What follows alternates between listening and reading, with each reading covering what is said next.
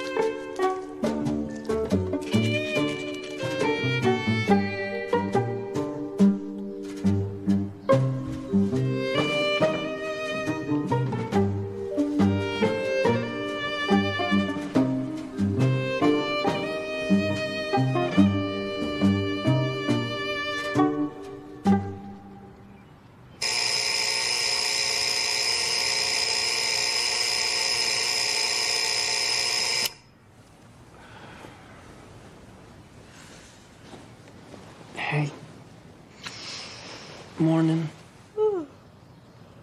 Did the alarm go off? It sure did. Wow, I didn't hear it at all. You never do. So, why is it so hard for us to be real about who we are? Why is it so hard for us to name our humanity in all of its less than beautiful ways?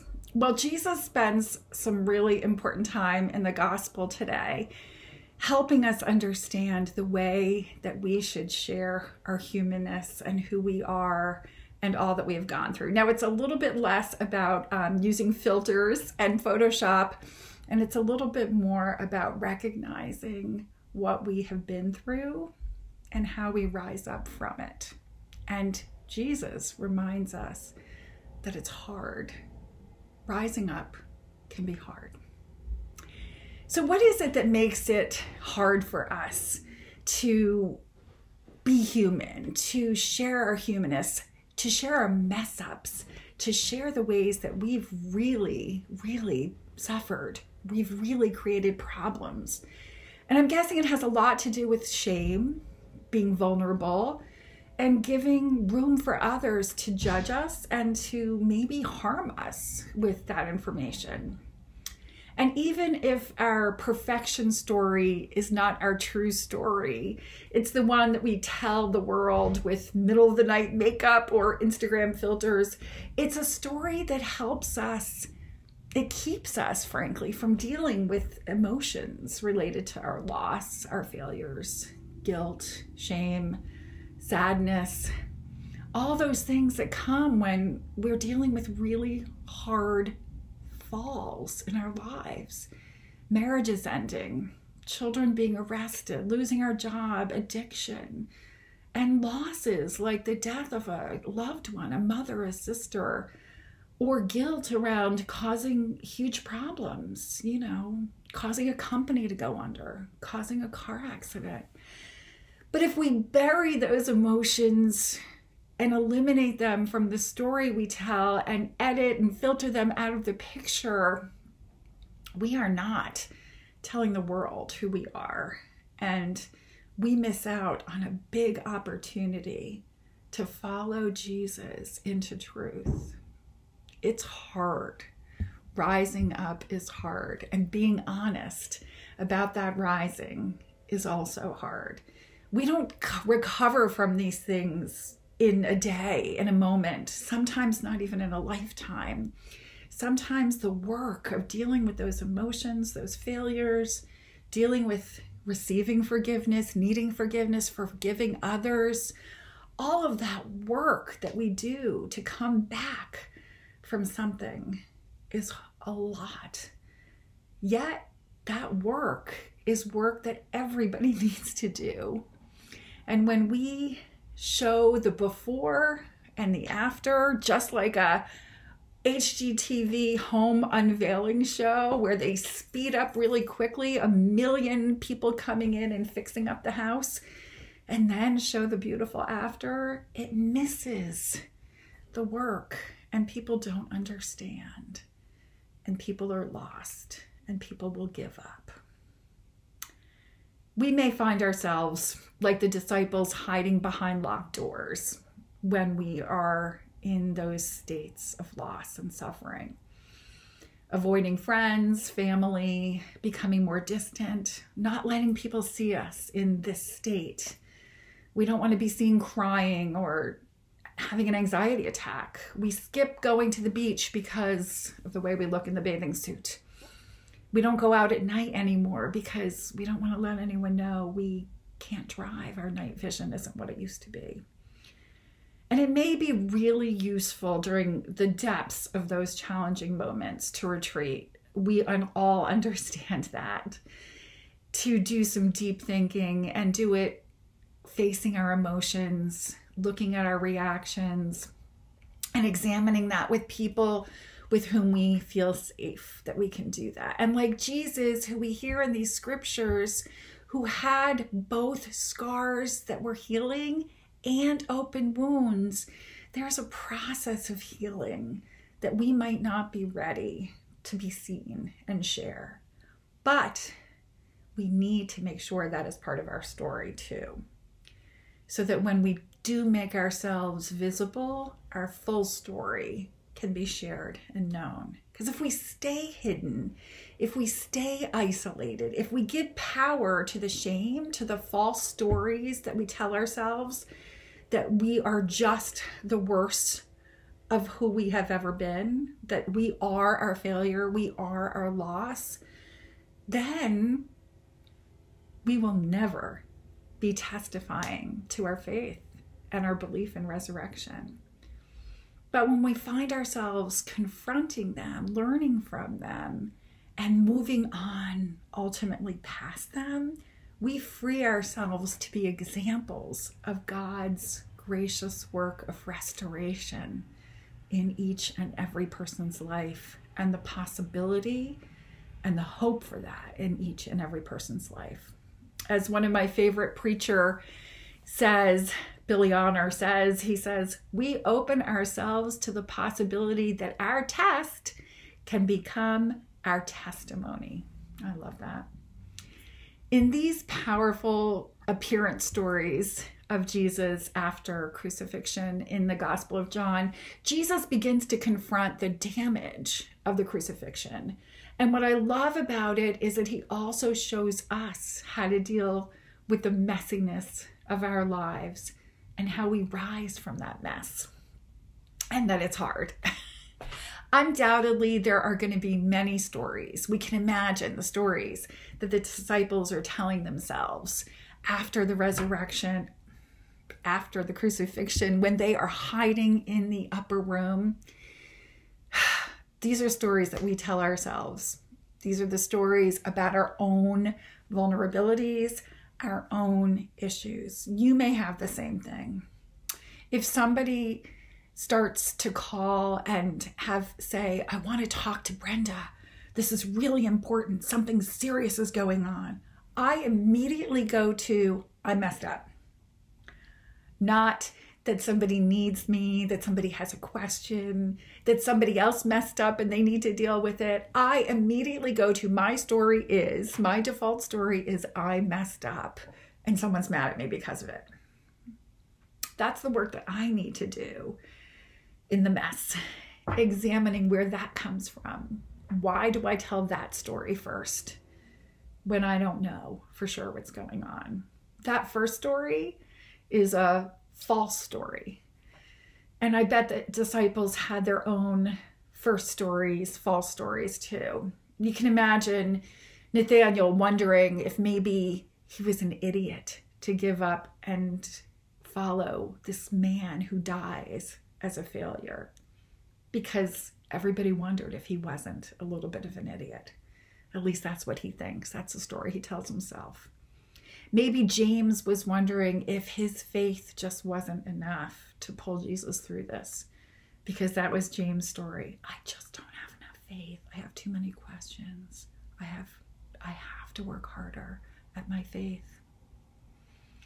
Peter Peter looking at those denials that he made the night of Jesus' arrest and keeps telling himself, I did it. I'm the cause. It's all me.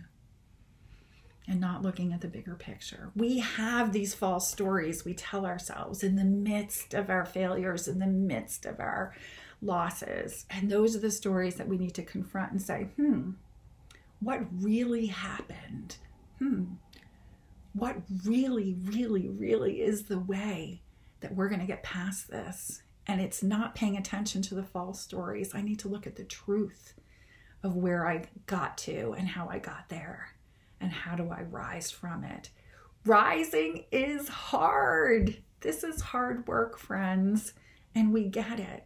But Jesus shows us in these beautiful scripture passages how we get through it.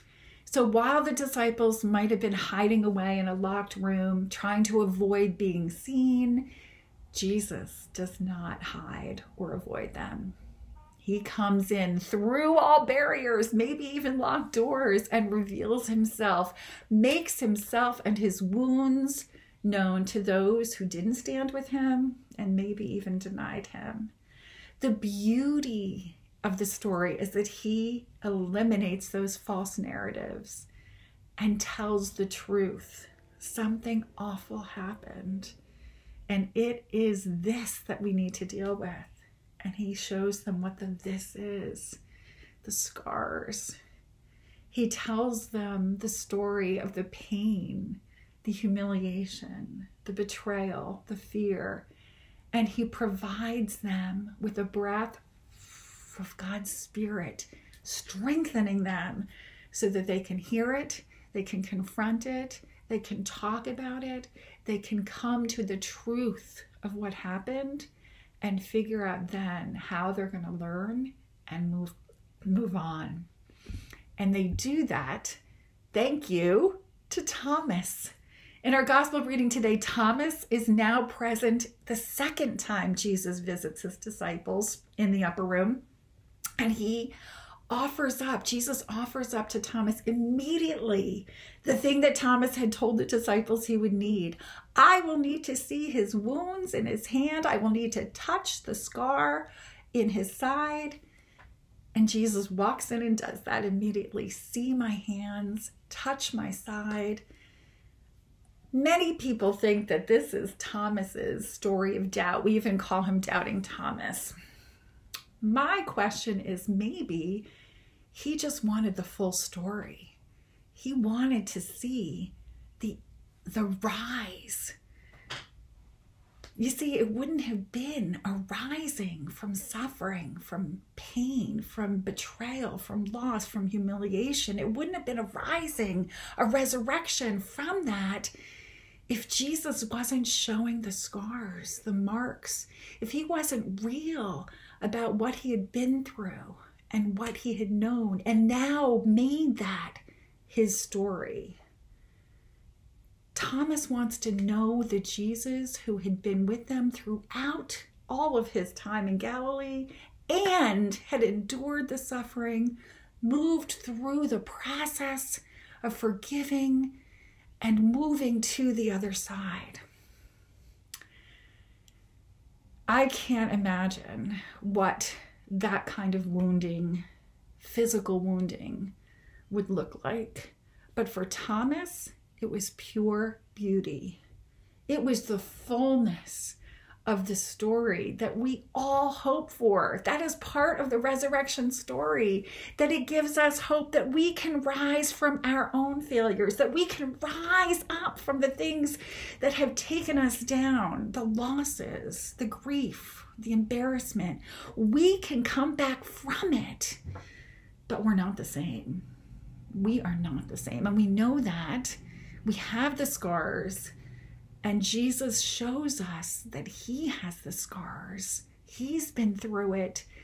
We can get through it. That is the hope that we have, but we do it embracing the beauty of that story, the fullness of that story, who we are because of those scars. Many people have found this art form from ancient uh, Japan that tells us that we can appreciate the beauty of broken pieces put back together, of scarred lives, the history of that. And they do it through the way they create or recreate pottery. Our culture finds it very important that we understand the spiritual backgrounds or the history uh, behind the person or the material. This is the Kintsugi project. Kin is gold. Tsugi is a connect, but actually connect to the world, connect to the generation. I'm Tero Kurosaki, and the producer or organizing for this project. There's some traditional technique, skills uh, in Japan, 400 years, 500 years, or joined together with a, not glue, with a lacquer, and then gold leaf on top. My name is Muneaki Shimode. I'm a craftsman from Kyoto.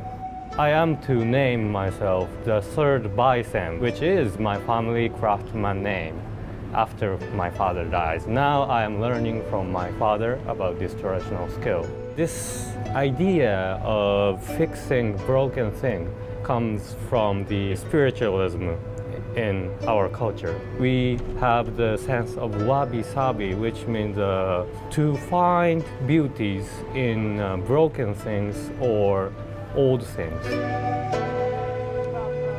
This uh, fixing with lacquer and our skill uh, is the ancient wisdom of our ancestors.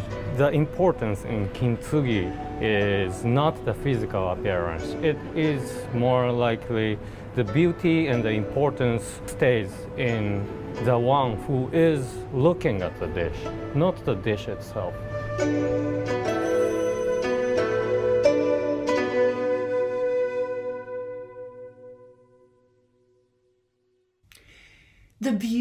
Kintsugi is that we see in the scars hope that we can put the pieces back together, but they are part of the story of breaking. They are part of the story of coming apart because coming apart and coming back together is the story of rising up. It's our story and it's our hope because of Jesus' resurrection, because he lives we can face tomorrow. Because he lives, we can rise up. Jesus wants those rising stories to be the story that we tell. He tells those disciples, I have breathed on you. This is your story now to share. Your story of brokenness, my story of brokenness, and how God is with us through the brokenness, through the process of healing, back into the rising. And we have that hope each and every day. Our rising stories, like Jesus' story, have the power to inspire others if we choose to let them, if we choose to tell them, if we choose not to filter them out, if we choose not to hide behind doors until we're perfect again. Perhaps these are the most important words that we can tell. I have risen up. But before I tell you my rising story, let me show you my scars. Let me tell you what happened. Jesus chooses to make himself visible, and in so doing, gives hope to the somewhat hopeless followers of his time. And our rising stories can do the same. That's our challenge. Rising up, even though it's hard, and talking about it, testifying to the resurrection. Amen.